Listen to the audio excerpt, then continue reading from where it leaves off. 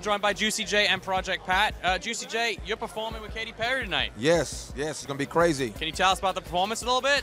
It's a secret. Oh, yeah? I wish I could, man, but it's, it's, I'm telling you, when you see it, you're gonna be like, wow. I mean, because Katy's known for her big performances. I- Is, she going to be holding up to her, you know, the expectation? Yes, yes, yes, yes. This, this is over the top.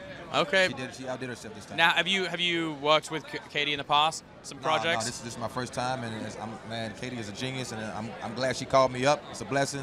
She put me on a hit record. Very cool, very cool. Now, uh, Grammys. It's obviously a very big night for music. What are you most looking forward to about the Grammys? Man, I'm looking to see. Uh, I heard Madonna's performing. I want to see that. I want to see Kendrick Lamar, um, uh, Jay Z, and Beyonce. Um, Rod Stewart's here.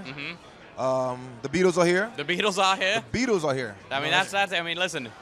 Take anything away from this, you know, we get to see it as semi-Beatle reunion. Yeah, you know what I'm saying. So I mean, like, uh, hey man, this is my first time coming to the Grammys, man. I, I can't believe it. You know what I'm saying. A lot of famous people and rich people out here right now.